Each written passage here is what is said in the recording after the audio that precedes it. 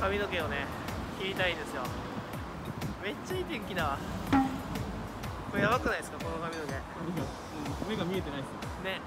ちょっとこれをどうするかちょっと美容師さんと相談してどうにかこうにかしていきたいと思います。なんか前の日に昨日かあのーインスタでアンケート取ったら今やっぱイテモンクラスっていうのが流行っててあの髪型にしてくれっていうのが多かったんですけど、まあ、どうなるかはちょっと相談して決めます。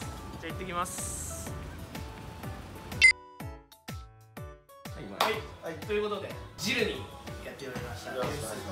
えっ、といつも髪の毛を切ってくれてるノブさんです。よろしくお願いします。ます。いやー最後に来たのが2月6日だったんですけどそうですね。4ヶ月でこんだけ伸びました、どうしましょう？もうコロナでね。はいそうなんですよ。コロナでずっと自粛して久々の僕も買い物以外の出かけなので。だよね。ちょっと痩せたもんね。わかります？痩せたなんなら家でダンベル買って毎日どうしましょうか髪今回でも今このコロナでなメンズたちにたくさん来るけど、はい。皆さん刈り上げがもうこのぐらい伸びててっていううん。23ヶ月切らない人が多いから もうとにかく短く。あでも青くなるぐらいにっていうのがあ一番次も2ヶ月持つようにみたいな。あーそっかそっか。なるべくそこまでやね。ガラッと変えるならもう単発。ただ一つあれなんですね。僕明日ロケなんですほ早速。青山行って大丈夫かな。うおう。いいんじゃない？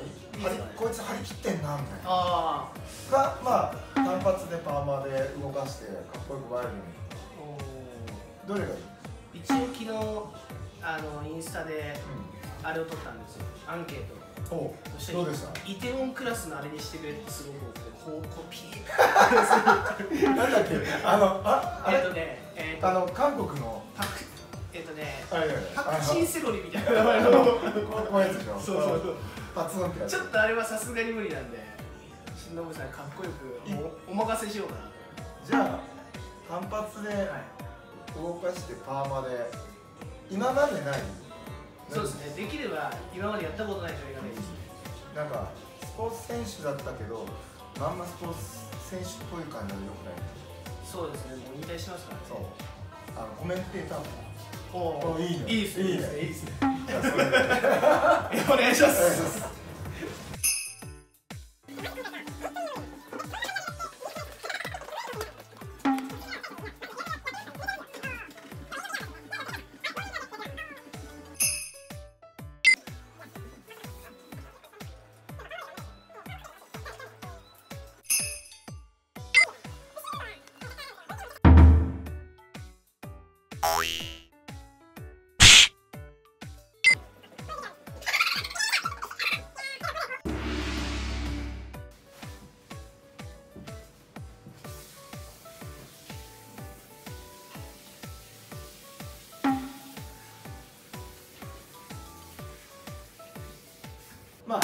今回はね。はい。